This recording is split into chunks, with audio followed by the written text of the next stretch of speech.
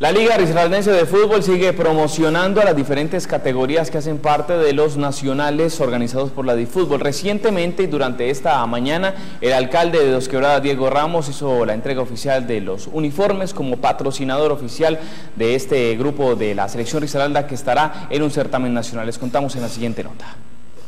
El alcalde Diego Ramos resaltó el trabajo que ha venido haciendo esta selección Risaralda en las diferentes competencias. Además, indicó que es importante apoyar a un grupo de jugadores de los cuales el 70% hace parte de la región. Entonces, una vez más, pues estamos nosotros dando un aporte de 25 millones de pesos para la participación de la liga. No olvidemos que ellos fueron los campeones de, eh, de la Copa Ciudad Pereira, una gran representación, el 70% de estos jóvenes son del municipio, el técnico es del municipio. Entonces, con mucho orgullo estamos colocando ese granito de arena para que ellos vayan a representar también tanto al departamento como a nuestro municipio. Por su parte, el presidente de la Liga de Fútbol celebró esta inversión realizada por el municipio industrial, ya que según él es la primera vez que un gobierno apoya a una selección Risaralda para afrontar un campeonato nacional. Es la primera vez que un municipio del departamento le da un apoyo tan significativo a la Liga Risaraldense.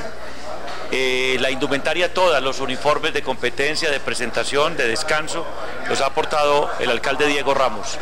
Para nosotros es una ayuda muy grande y de esta manera la alcaldía de Dos Quebradas y la gobernación del departamento de Risaralda son los únicos patrocinadores de nuestra liga. Llama la atención que la mayoría de los deportistas de esta gloriosa selección juvenil son de Dos Quebradas, el cuerpo técnico. De manera que con esto estamos demostrando descentralización, que el departamento de Risaralda tiene importantes municipios que le aportan deportivamente a la liga, como el municipio de Dos Quebradas, y que además el ente gubernamental, el alcalde Diego Ramos, ha apoyado no solamente con escenarios, sino con la indumentaria deportiva para que estos muchachos representen muy bien a nuestro departamento. Wilson Cano, entrenador del equipo, manifestó que esto es un premio al esfuerzo y compromiso que han tenido los jugadores con el departamento en el momento de representar a Risaralda en las diferentes competiciones.